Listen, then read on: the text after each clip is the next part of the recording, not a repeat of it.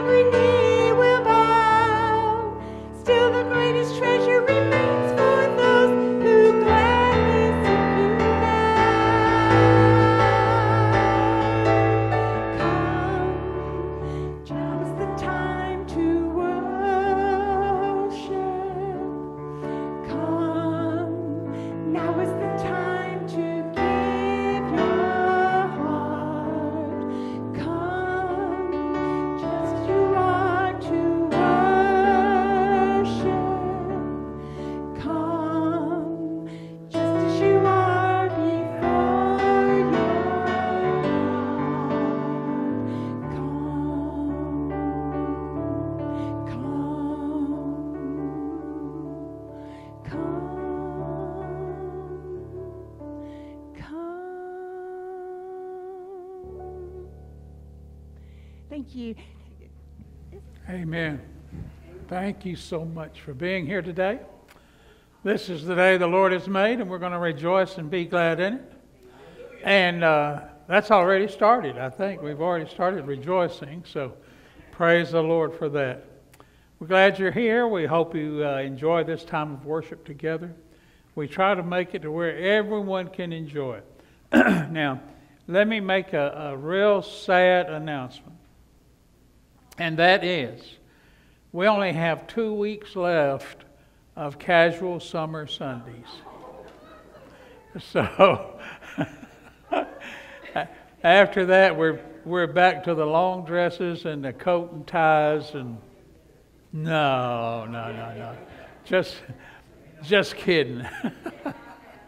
we're not, we're not going to change our dress code just, just because it turns September. But uh, anyway, uh, it's fun though in in the summer to come and be able to come as you are and and enjoy uh, enjoy the worship time without having to worry about what you what you're wearing. But we're so glad that you're here today. Uh, announcements. We have. Um, Choir practice next week, 10 o'clock. Choir practice has resumed at 10 o'clock on Sundays. So next week uh, it'll be uh, same time, 10 o'clock, for choir practice. Uh, also, uh, is that all? Soprano, altos, tenors, and basses. That's or basses. No, basses. Okay, that's okay. And uh, they're going to be starting real soon practicing for a Christmas cantata And uh, we've already got uh, copies of it made for the choir, and they're going to be starting real soon practicing. So if you'd like to get in on that and be here next Sunday at 10 o'clock and uh, see what's going on, we're going to have a great. The Christmas cantata this year, I think we're going to do it on a Sunday morning. I think we're going to do it on Sunday morning uh, this year. A little different. We usually do it on uh, Christmas Eve or something like that. We're going to try to do it on Sunday morning for the Sunday morning service. So it, we're looking forward to that. But anyway, uh, I don't have any other announcements. Do you? Okay. Let's prepare ourselves for worship. Let's take a few moments and prepare to worship God.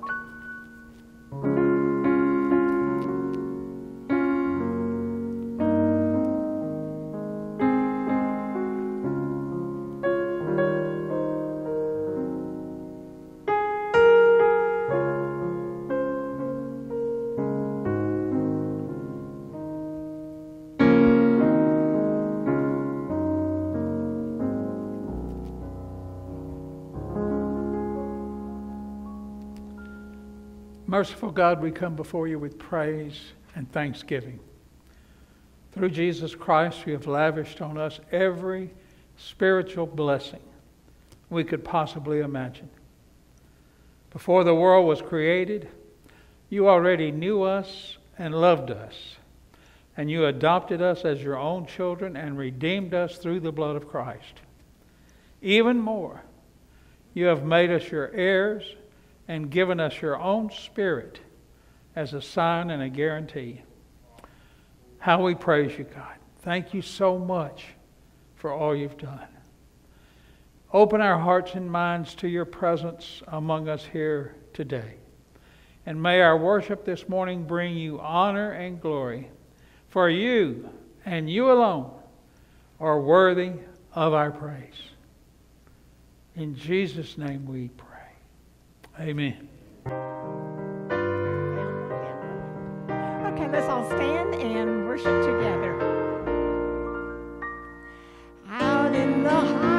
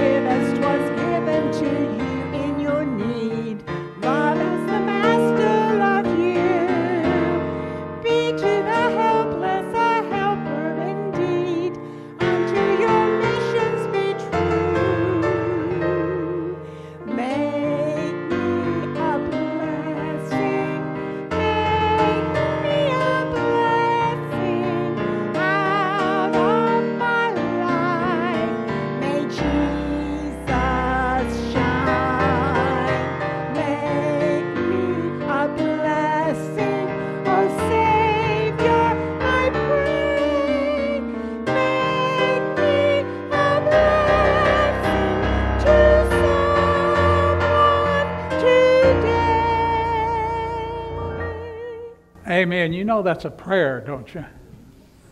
And so I'm going to ask you to think about this for a minute. Who are you going to be a blessing to today? You just sang, Make me a blessing to someone today. And you prayed that. That was a prayer. You prayed it. So who are you going to bless today? You need to find somebody that can be the recipient of your prayer.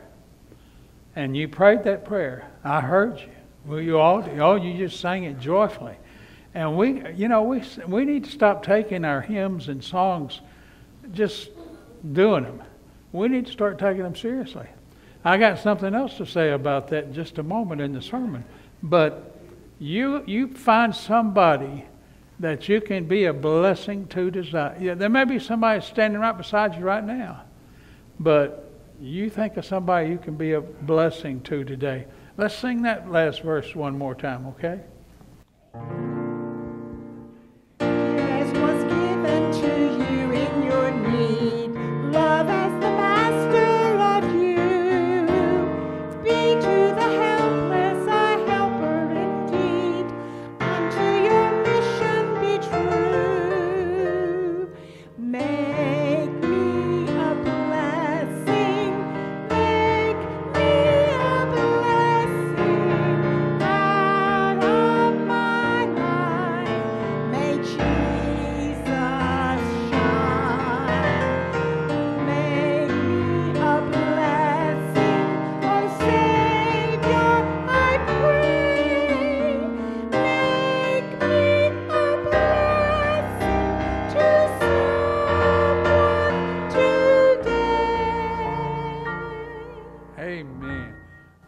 Affirm our faith together. God is a spirit, and they that worship him must worship him in spirit and in truth. God is light, and in him is no darkness at all, neither shadow that cast by eternity. God is love, and everyone that loves is begotten of God and knows God.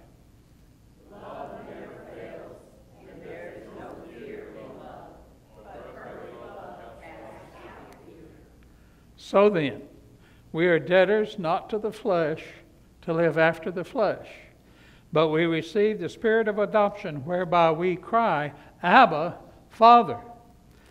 Being therefore always of good courage, we walk by faith and not by sight, and we make it our aim to be well pleasing to Him. For we know that to them that love God, He works all things together for good. Amen. Be seated, please. You know what? That's the truth. To them that love God, He works all things together for good. Mm. Man.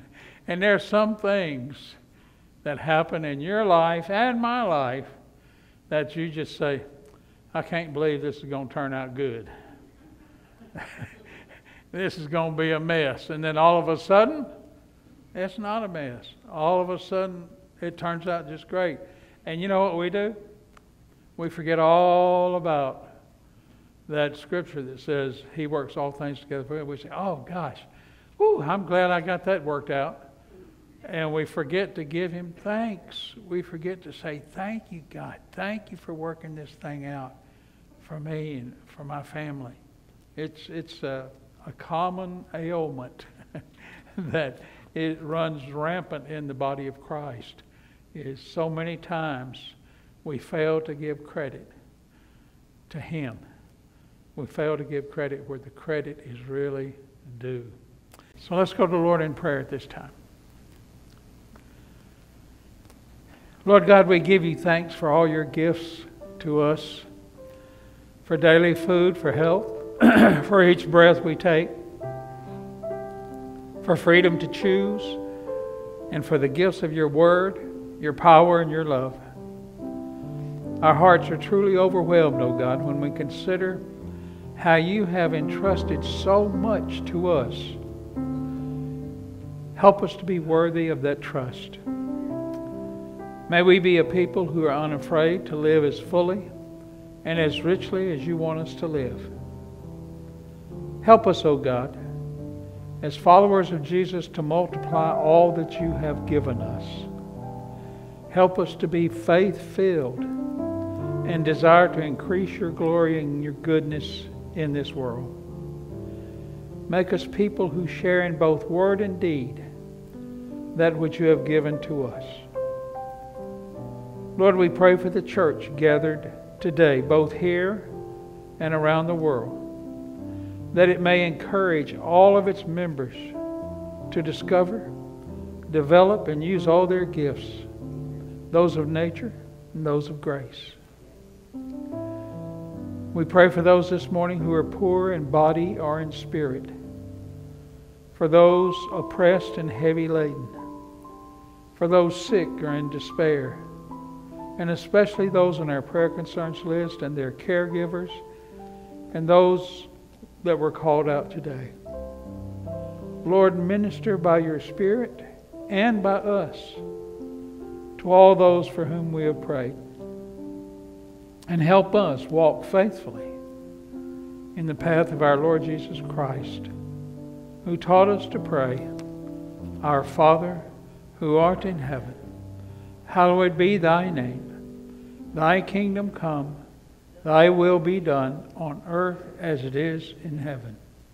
Give us this day our daily bread, and forgive us our debts as we forgive our debtors. Lead us not into temptation, but deliver us from evil. For thine is the kingdom, and the power, and the glory forever. Amen. For ushers to come forward at this time, we'll receive our morning offering.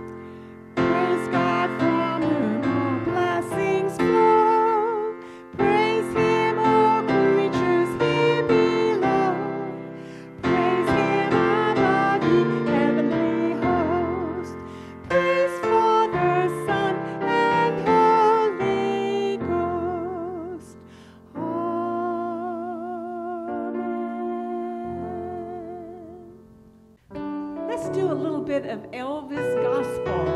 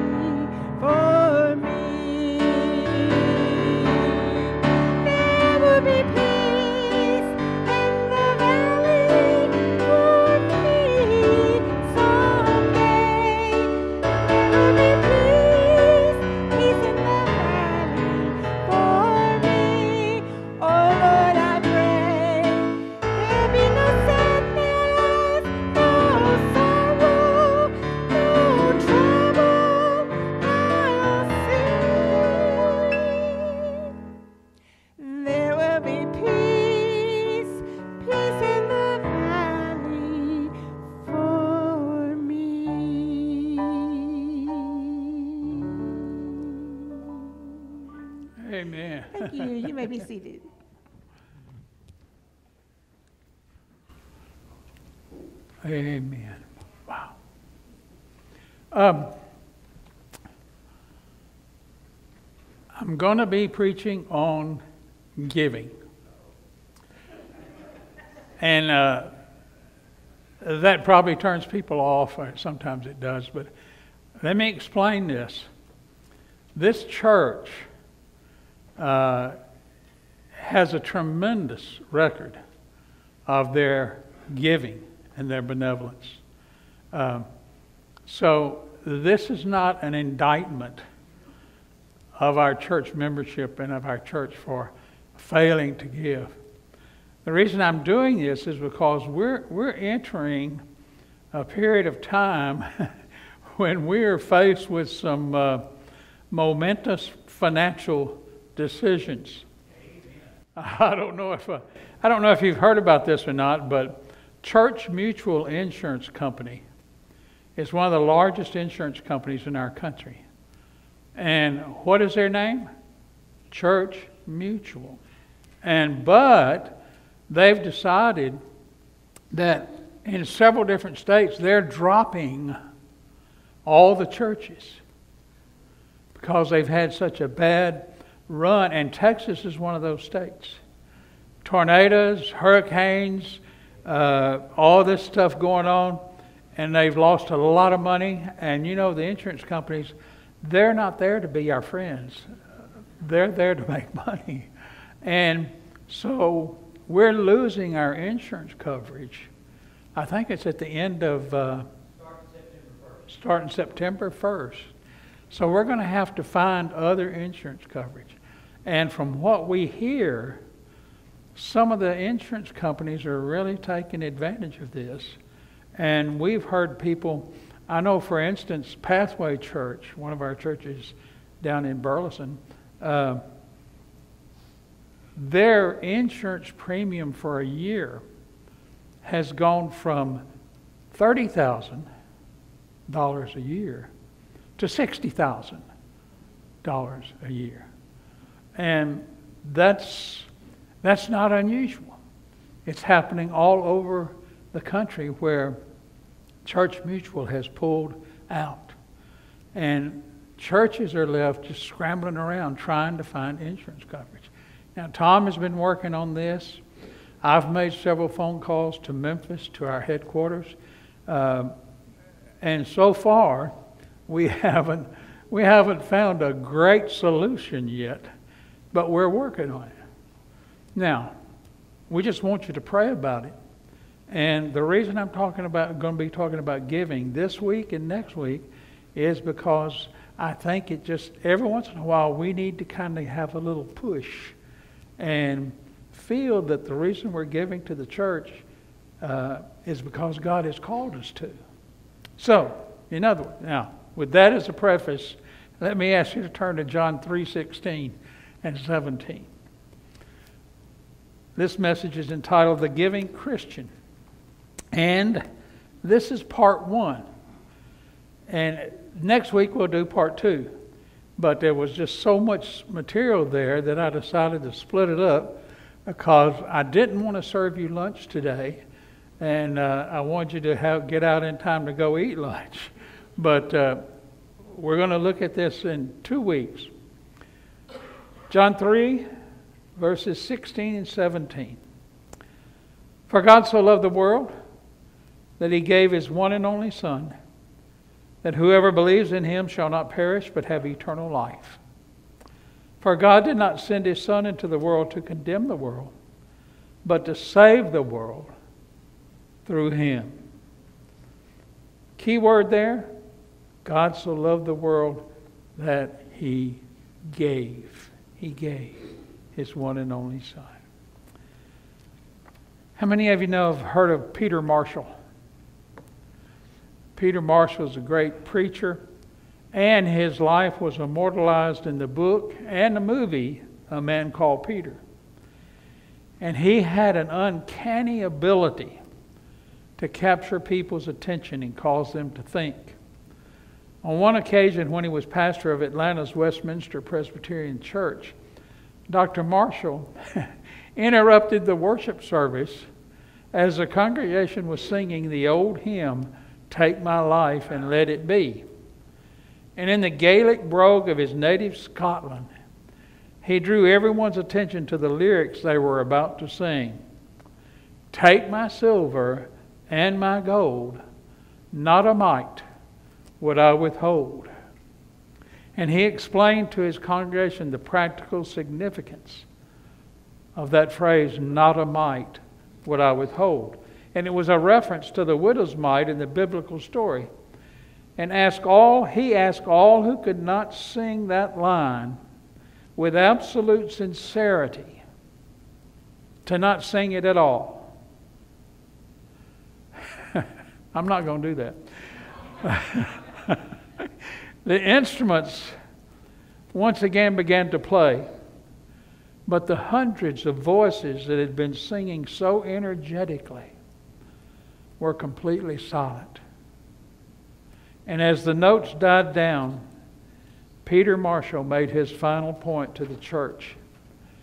It's okay for us to stop and think. And it's okay for this to make us stop and think. But giving really matters. And we have to take it seriously. He was right, of course. Giving is a serious matter, but it's also a practice that brings inexpressible joy when it's done in the right spirit. And as Paul told the Corinthians, God loves a cheerful giver. Giving is right at the heart of the Christian life. Giving is right at the heart of the gospel and at the heart of God. For God so loved the world that he gave his one and only Son. You see, God is the infinite and perfect giver. It is integral to who he is, and because giving is inherent in his character, when we give, we identify with him and we reflect his likeness. Everything of true value was given by God. He's given us life itself physical life in the blood that courses through our human bodies, and spiritual life in the blood of His Son, Jesus Christ, whose sacrifice makes possible our salvation. God has set the pattern for giving, and there is no worthier goal than to give like God gives. Now, is that possible? It's not only possible, it's imperative. I've been looking and exploring this concept of giving to find out what it means to be a giving Christian before I embarked on these messages. And I must say, it's been a very enlightening journey so far. I've discovered a treasure of life transforming truths. And what I'd like to do, I want to share some of those with you today, and actually just two, and then next week we'll share three more and try to wrap this thing up. First of all, the giving Christian gives faithfully. Faithfully, that's the key. The giving Christian gives faithfully.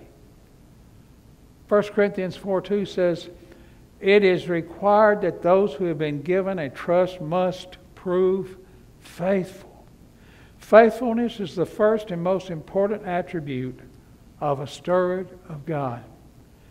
The Bible says emphatically that it's required, that it has to be faithful.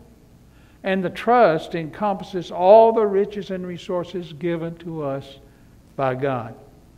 God's plan is that we manage those assets in a way that is spiritually wise and profitable.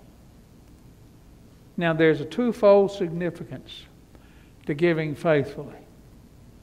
First, it means giving by faith in God, mindful that He is Lord of all. In other words, when you go to give, you don't worry, you're not supposed to worry about the bills you have to pay, uh, buying your groceries, your clothes, what. You're not supposed to worry about that. You're just supposed to have faith in God and be mindful that He is Lord of all. How many of us give trusting God that He's going to supply all of our needs? That's a hard thing to do. It's not easy. But we have to have faith. So, first, it means giving by faith in God. And second, it means giving in a faithful, dependable manner. And in both meanings, God provides the power and we follow through with the practice. He gives us the gift of faith. We, in turn, exercise that faith by giving for His glory and His purposes. And I must say, giving faithfully is not just about money. And I will admit, and I know you know this, money is a major determinant of life. For as Jesus said, where your treasure is, there your heart will be also. Matthew 6:19. I've counseled many people whose struggles and crises can be traced directly to their treasure, quote, treasure, and consequently their heart being in the wrong place. Faithfulness in giving to the right purposes in the right way has a powerfully positive effect and keeps our priorities in order. Now, secondly, let me say this the giving Christian gives compassionately. Our English word compassion is derived from two Latin words that literally mean to suffer with. To have compassion is to suffer with other people, to put yourself in their shoes, to feel what they feel, to endure what they endure. And this is what Jesus did constantly. So great was his love and concern that he was often moved to compassion. I don't know how many times in Scripture you read those words that he was moved to compassion. Throughout his earthly ministry, he gave help and healing to the poor, the diseased, and the needy.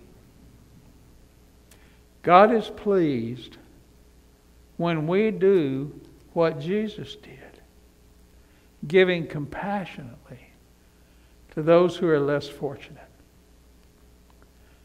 James chapter 1 verse 27 says, Religion that God our Father accepts as pure and faultless is this to look after orphans and widows in their distress. You see, giving to those who can give nothing back is a spiritually beautiful thing. And it honors God. It honors God. When we give to those who can't give anything back, God is blessed and honored. I'm going to cut this kind of short because uh, it is a, quite a message. But in Acts chapter 10, in the account of the Roman centurion Cornelius, the Bible says that he gave generously to those in need and prayed to God regularly in a vision from God, an angel came to Cornelius and told him, Your prayers and gifts to the poor have come up as a memorial offering to God. Acts 10:4. When a Christian gives compassionately to and for others, this scripture seems to say that it's the same thing as giving directly to God. So when you give to someone and you know that they can't give back, it's the same thing as giving directly to God. And you're just doing what He wants you to do, He has called you to do. Now I'm going to stop there. We have more to do. Next week, we've got three more great truths that I want to share with you. I hope you can be with us. But uh, please, I'm just going to ask you, please don't take this in the wrong way. Like I said before the message, I feel like this church has done a marvelous job in meeting the needs of that have been presented to us, meeting the needs of the community. We've done our part in the denomination, in the presbytery, and I think God has blessed us, and He's going to continue to bless us as we continue to give to His work. Let's pray together. Father, we thank you so much for the privilege that we have to give to those who have needs, to those who are less fortunate. Father, we thank you for allowing us to give to your church so that your church can continue to prosper and grow and minister to those in need and do what we need to do in this community. Lord, we ask, we ask that you would give us your blessing as we strive to do what is right for you. Thank you so much for all you've done for us. And help us now to keep our eyes on you and keep our faith strong. In Jesus' name we pray. Amen.